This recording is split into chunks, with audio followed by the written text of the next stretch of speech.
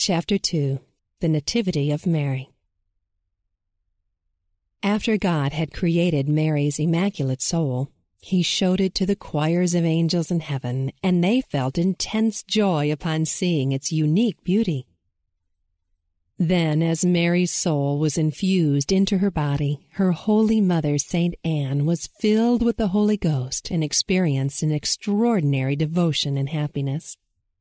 Throughout the rest of her life, and especially during the next nine months, she constantly received new graces and enlightenment concerning the great mystery of the Incarnation, and she frequently praised the Lord in canticles of love. One night she felt for the first time a slight tremor from the presence of her daughter in her womb. With profound joy she arose, dressed, and told St. Joachim the happy news and then both gave thanks to God together.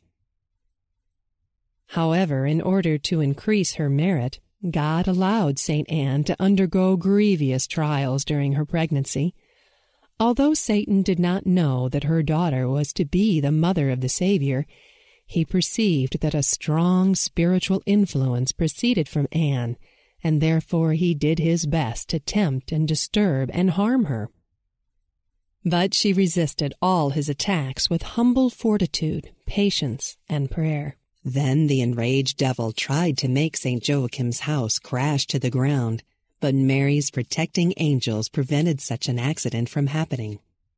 Next, Satan incited some of St. Anne's women friends to treat her with open scorn and mockery because of her late pregnancy.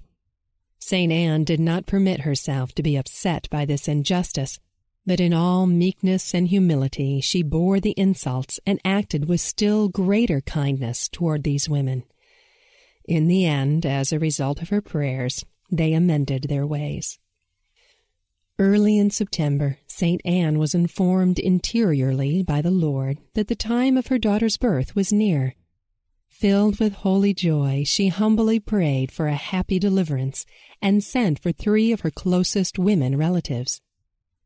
When she told St. Joachim, he rejoiced and went among his flocks in order to choose the finest lambs, goats, and bulls, which he sent to the temple in care of his servants as an offering of gratitude to the Lord. One evening the three women arrived and embraced St. Anne, congratulating her warmly. Standing with them, she poured forth her deep joy and thankfulness in a beautiful, spontaneous canticle which surprised and thrilled her friends. Then, still standing, they took a light meal of bread, fruit, and water, after which they went to lie down and rest. St. Anne prayed until nearly midnight, when she woke her relatives and went with them into her oratory and lit the lamps. From a closet she took a small box containing some relics of the patriarchs of Israel. Then she knelt before her little altar while she was praying thus, a supernatural light began to fill the room. Noticing it, the three friends threw themselves onto the floor and hid their faces in awe. Soon the dazzling light entirely surrounded St. Anne, making her invisible. A moment later, she was holding in her hands a beautiful, spotless, radiant baby, which she tenderly wrapped in her cloak and pressed to her heart.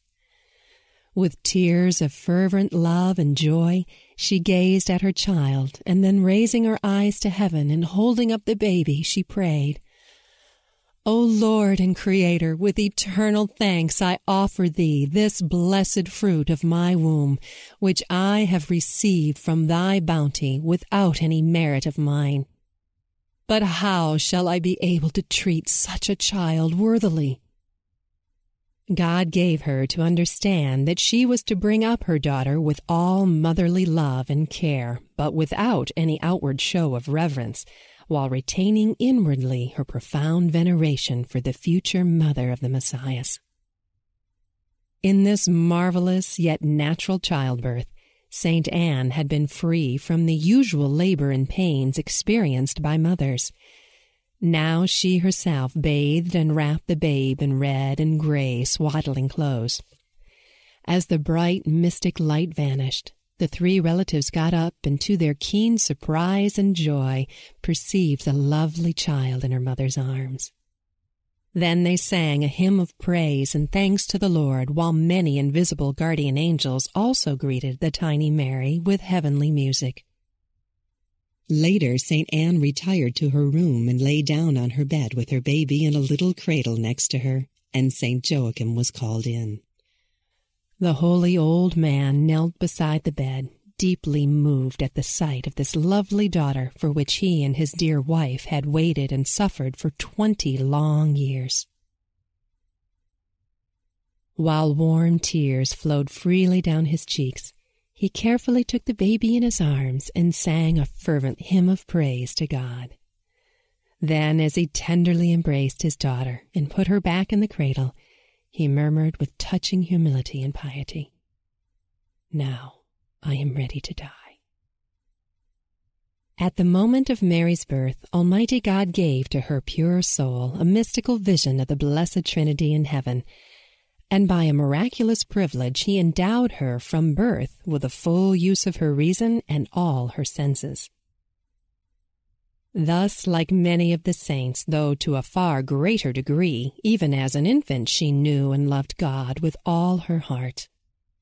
And as soon as she opened her eyes on earth, she perceived with keen affection her good parents, St. Anne and St. Joachim. And then she saw the many angels which God had assigned to guard and protect her throughout her life. The Archangel Gabriel was sent to announce the great news of the birth of Mary to all the prophets, patriarchs, and souls in limbo. Upon hearing that at last the mother of the Redeemer was in the world, they rejoiced and praised God for his mercy toward mankind. In all nature there was at this time an extraordinary movement of joy, and many good people felt an unusual spiritual exultation without knowing its cause. On the other hand, many evil men and possessed persons felt sorely disturbed. Near the temple in Jerusalem, old Simeon was awakened by the shouts of a possessed man who cried, I must flee! All of us must flee! A virgin has been born! Simeon prayed fervently, and the devil left the man. Anna the prophetess and another holy woman were shown in visions that a child of election had been given to Israel. The next day, many friends and neighbors of St. Anne and St. Joachim came to see the baby and congratulate the happy parents. Everyone was deeply touched upon seeing little Mary lying in her cradle, wrapped in her red and gray swaddling clothes, and there was general rejoicing. Now in heaven, the Blessed Trinity announced to the choirs of angels, Our chosen one shall be called Mary and this name is to be powerful in grace.